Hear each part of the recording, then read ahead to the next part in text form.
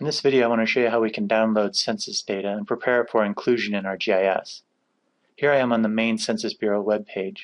First thing you'll do is go to the top menu Data and select American Fact Finder. From here you'll select Advanced Search, Show Me All. The first thing I like to do is select the geographies that I'll be working in. In this case I want to get census data that's been aggregated to the census tract level. Go ahead and select census tract. It'll ask you which state, Colorado. It'll ask if you want to select a county, but in this case I actually want to select data for all census tracts within Colorado. It's okay if I'm actually downloading more data than I'll actually need in my map. When I'm done adding that to my selection, I can close that window. And now I'll go to the Topics menu and select Dataset. And here you can select the data set you want to work with. In my case, I want to use the 2012 ACS five-year estimates. Go ahead and close that. And here you can see the variables that you have access to. In my case, I'm going to look at poverty status in the past 12 months. So I'm going to check that box. I'm also going to go to page 4 here, and I'm going to select Hispanic or Latino origin by race. Once you've selected your variables, go ahead and select Download and the Census Bureau limits you to 10 selections. Go ahead and hit OK. It may take a little while for it to build your file. When it's ready, click Download, and it'll download into a zip file.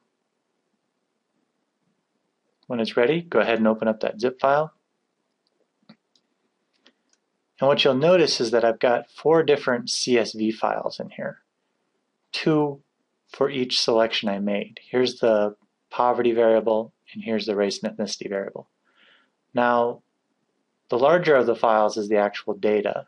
The smaller of the files is the metadata, or a description of what each of the variable names is, and you'll see that in a second. So I'm going to start with the poverty data. I'm going to go ahead and open the data itself. And you can see that there's some sort of nonsensical variable names here. So now I'm going to open up the metadata at the same time to view them simultaneously, simply go to View, click on View Side by Side, and deselect Synchronous Scrolling. Now on the top, here's the metadata, and again, if I'm going to expand this first column, simply put the cursor between A and B and double click. You can see the full variable name and what each one stands for. And you can see that this first one is simply the total estimate of the population for whom the poverty status is determined. They're poor or they're not, but we know their status. And then we see here in row 6 the number of those who are below poverty level.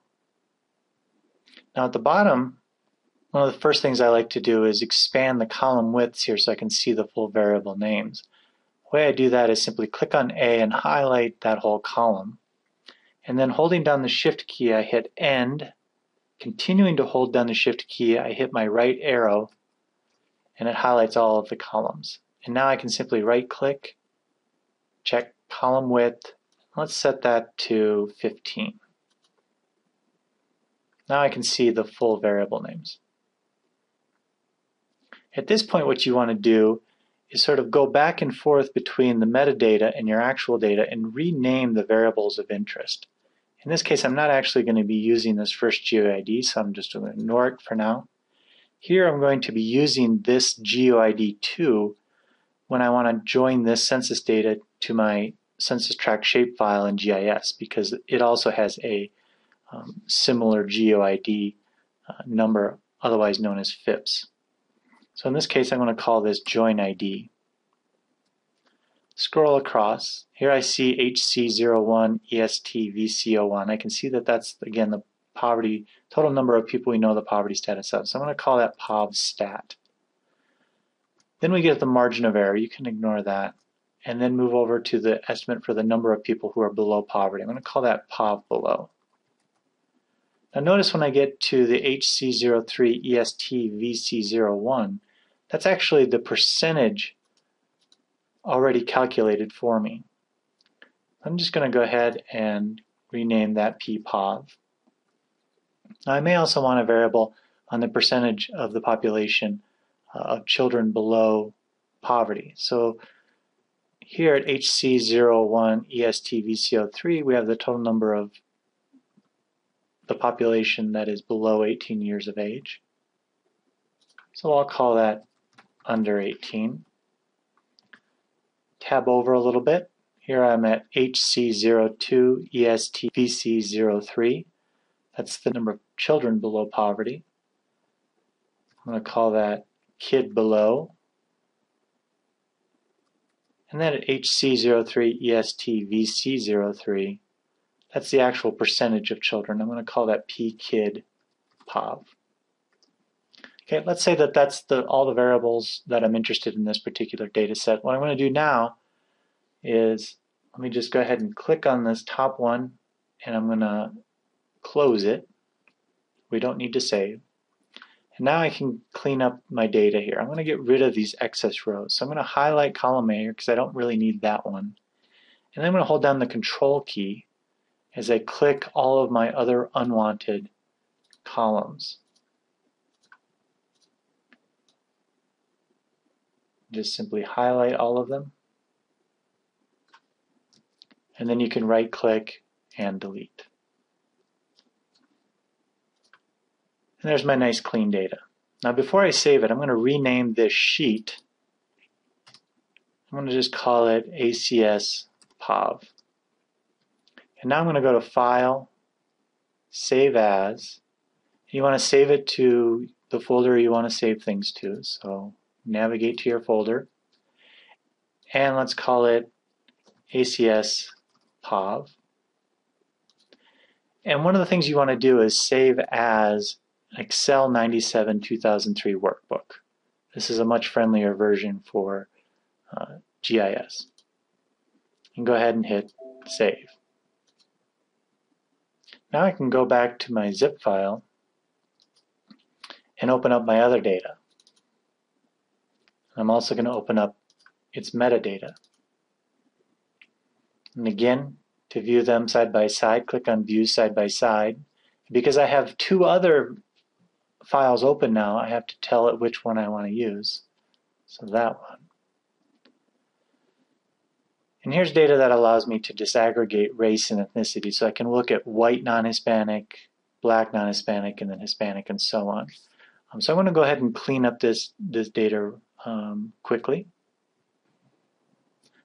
So here you can see I've narrowed down my data to the particular variables I wanted. Total population, the number who are white non-Hispanic, black non-Hispanic, Asian non-Hispanic, and Latino. So I'm going to go ahead and close this metadata. No need to save. Now, I don't actually, I could save this as its own um, data set. The other thing I can simply do is let me just copy all of this. Copy.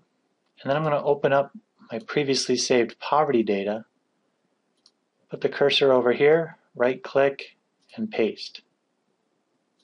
And what you'll notice is that the data are in the same order because they were downloaded at the same time. So I don't actually need this join ID anymore. I can delete that. And that's how I can sort of clean up separate variables at a time and then merge them into a single uh, data set.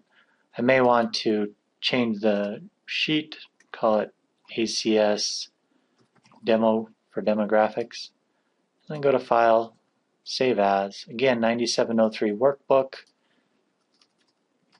Let's call this ACS Dem and hit Save. Now you'll want to close the Excel file because you can't bring in an Excel file or an Excel file sheet into GIS when it's open in another program.